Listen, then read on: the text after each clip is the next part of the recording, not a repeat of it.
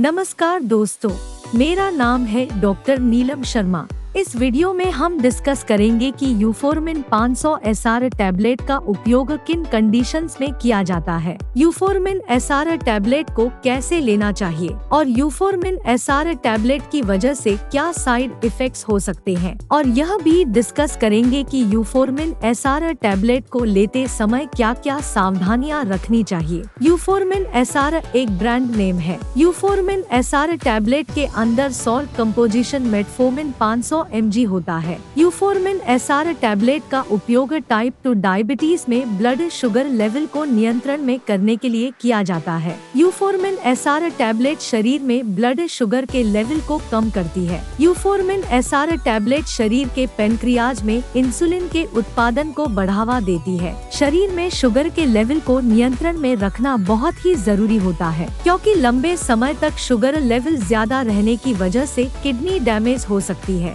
आँखों की देखने की दृष्टि कम हो सकती है और शरीर की नसें डैमेज हो सकती है। इसलिए शरीर में शुगर के लेवल को नियंत्रण में रखना बहुत ही ज़रूरी होता है। खाना खाने के दो घंटे बाद एक नॉर्मल व्यक्ति का ब्लड शुगर लेवल 140 से कम होता है। खाना खाने के दो घंटे बाद यदि किसी व्यक्ति का ब्लड शुगर लेवल 140 से लेकर 200 के बीच में है तो वह व्यक्ति परी डायबिटिक स्टेज पर है। परी डायबिटिक स्टेज पर शुगर लेवल को बिना दवाओं की मदद से नियंत्रण में किया जा सकता है। परी डायबिटिक स्टेज पर शुगर लेवल को नियंत्रण में करने के लिए रेगुलर एक्सरसाइज और लाइफस्टाइल व खान पान में बदलाव करके ब्लड शुगर लेवल को नियंत्रण में किया जा सकता है। यदि किसी व्यक्ति का ब्लड शुगर लेवल 200 से ज़्यादा है तो हम कह सकते हैं कि उस व्यक्ति को डायबिटीज़ की समस्या है। दोस्तों, अगर आपको वीडियो पसंद आ रहा है तो कृपया वीडियो को लाइक करना व चैनल को सब्सक्राइब करना न भूले। साइड इफेक्ट्स की बात करें तो वैसे तो ज़्यादातर व्यक्तियों में यूफोर्मिन एस टैबलेट की वजह से कोई साइड इफेक्ट्स नहीं होते हैं। लेकिन कुछ परसेंट व्यक्तियों में यूफोर्मिन एस टैबलेट की वजह से कुछ साइड इफेक्ट्स हो सकते हैं। जैसे उल्टी आना उल्टी आने का मन होना, पेट में बेचैनी होना, चक्कर आना, मुँह के स्वाद में बदलाव होना, दस्त होना पेट में दर्द होना और भूख कम लगना आदि side effects Euformin S R tablet की वजह से हो सकते हैं। इसके अलावा लंबे समय तक यूफोर्मिन एस आर टैबलेट का सेवन करने की वजह से शरीर में विटामिन बी ट्वेल्व की कमी हो सकती है। वैसे यूफोर्मिन एस आर टैबलेट की वजह से ब्लड शुगर लेवल बहुत ज़्यादा कम नहीं होता है। लेकिन यदि आपके डॉक्टर ने यूफोर्मिन एस आर टैबलेट के साथ दूसरी शुगर कम करने की दवा दी है तो ब्लड शुगर लेवल बहुत ज़्यादा कम भी हो सकता है। ब्लड शुगर बहुत ज़्यादा कम होने पर जी मिचलाना,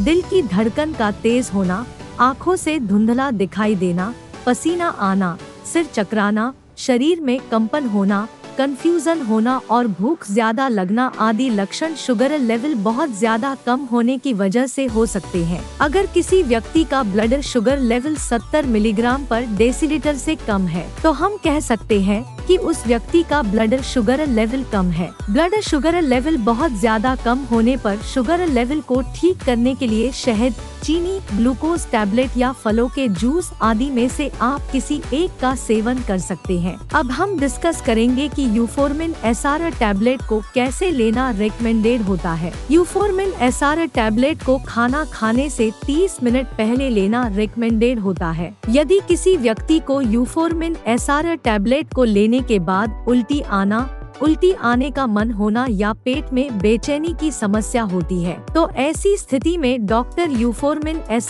टैबलेट को खाना खाने से तुरंत पहले भी लेने की सलाह दे सकता है। यूफोर्मिन एस टैबलेट एक सस्टेन रिलीज़ टैबलेट है, जो शरीर में धीरे धीरे घुलती है और सस्टेन रिलीज़ दवाओं का असर लंबे समय तक रहता है। 18 साल से अधिक उम्र के ज़्यादातर व्यक्तियों को डॉक्टर यूफोर्मिन एस टैबलेट को दिन में केवल एक बार ही लेने की सलाह देते हैं। यूफोरमिन एस टैबलेट की डोज उम्र शरीर के वज़न और ब्लड शुगर के लेवल के आधार पर कुछ व्यक्तियों में इससे अलग भी हो सकती है। अब हम डिस्कस करेंगे कि यूफोरमिन एस आर टैबलेट को लेते समय क्या क्या सावधानियाँ रखनी चाहिए। शुगर को अच्छी तरह से नियंत्रण में करने के लिए आपको यूफोरमिन एस आर टैबलेट के साथ साथ रेगुलर एक्सरसाइज करनी चाहिए।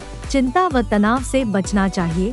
पर्याप्त मात्रा में नींद लेनी चाहिए। और यदि आपके शरीर का वज़न ज़्यादा है तो वज़न को कम करना चाहिए। ब्लड शुगर बहुत ज़्यादा कम होने से बचने के लिए आपको यूफोरमिन एस टैबलेट को लेने के बाद खाने को स्किप नहीं करना चाहिए। और आपको यूफोरमिन एस आर टैबलेट को लेने के बाद आपको अपने रेगुलर शेड्यूल पर खाने का सेवन करना चाहिए। अगर आपको यूफोरमिन एस टैबलेट का सेवन करते समय भी बार बार पेशाब आना, ज़्यादा प्यास लगना, शरीर में थकान रहना कंफ्यूजन होना नींद अधिक आना और सांसों से बदबू आना आदि लक्षण होते हैं। तो ये लक्षण शरीर में ब्लड शुगर लेवल ज़्यादा होने के हो सकते हैं। अगर आपको इनमें से कोई भी लक्षण होता है तो आपको तुरंत ही डॉक्टर को बताना चाहिए, क्योंकि ऐसी स्थिति में आपका डॉक्टर दवा की डोज को बढ़ा सकता है, या दवा को बदल भी सकता है। शरीर में इन्फेक्शन होने पर, बुखार होने पर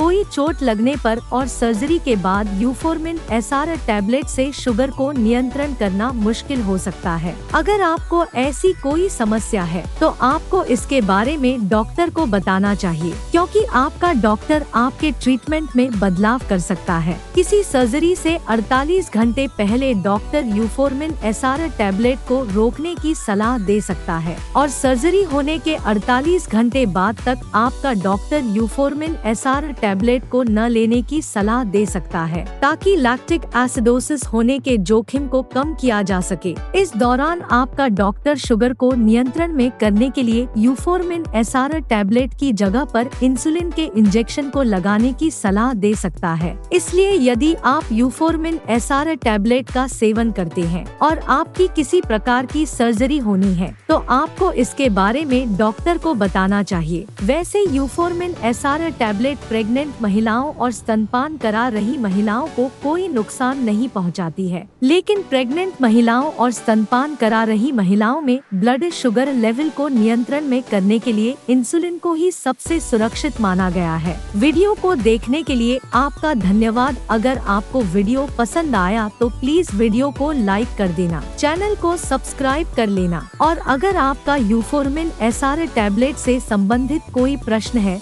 तो आप कमेंट करके पूछ सकते हैं।